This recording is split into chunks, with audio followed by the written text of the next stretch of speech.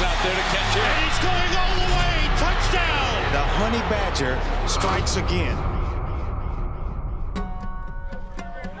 Their story takes place on a football field, and yet it's about so much more. It's definitely deeper than football. You know, we, we kind of push each other to make each other better, and that's what it's all about. They first met on a recruiting trip at LSU. Patrick Peterson, the star cornerback. Tyrann Mathieu, the star recruit. Introductions were made, expectations were set. I just told him that I wanted to be just as good as him. And, you know, he looked back at me and said, no, I want you to be better than me. So that's how it all kind of started. What was it about him that was so special to you? I mean, he was genuine.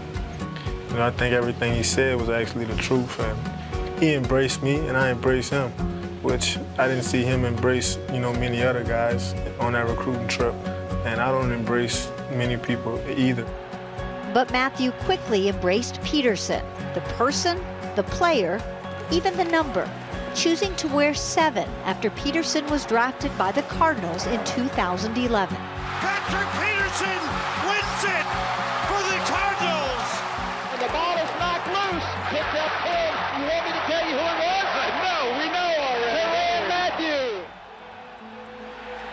After his sophomore season, where he was named a Heisman Trophy finalist, Mathieu's choices changed everything on the field and off.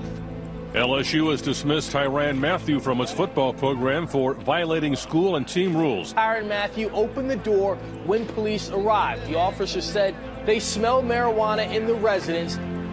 I'm thinking about how do I explain this to Patrick, you know what I mean? So, because I took on responsibility of wearing number seven, so I had a responsibility to Patrick also.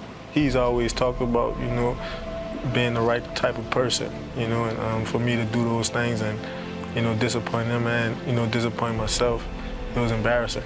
I didn't want to kick him to the curb because um, of a mistake that he made in college, knowing that he, he clearly didn't mean it. I know how it can be in, um, in, uh, in Baton Rouge being in that spotlight. So I just wanted to encourage him and, and uplift him and, and tell him that it's going to be better days. But Peterson didn't just offer support he offered his world. Moving Mathieu to Florida to live with Peterson's parents and to train with his father, a renowned speed coach. When he first came to my house, you know, wanted to try to get his life back on track. So my job was like a father figure. And he told me, like, man, I want to be real fast in this combine. So, because he came running a four, five, six, you know, and you see what he ended up running in the combine, four, four, three. The Petersons gave him a home stability, and a second chance. After declaring for the NFL draft in November 2012, Mathieu continued to train with Peterson Sr., Junior joining Team Tyrann in January, preparing his mentee for the combine, all the while selling his team about Mathieu the player and the person. I wanted to put a bug in the, in the GM's ear and uh, Coach Arians' ear that this guy, he, he's learned from his mistakes. He, he can definitely help us in the long run. The Arizona Cardinals select Tyrann Mathieu.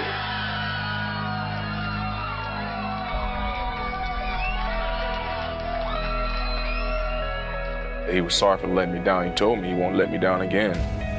You know, at the end of the day, you want to do the right things for yourself, but you I want to do the right things for Patrick too. Our friendship was it was much deeper than that, and you know, I knew he was always the guy I can go to and lean on.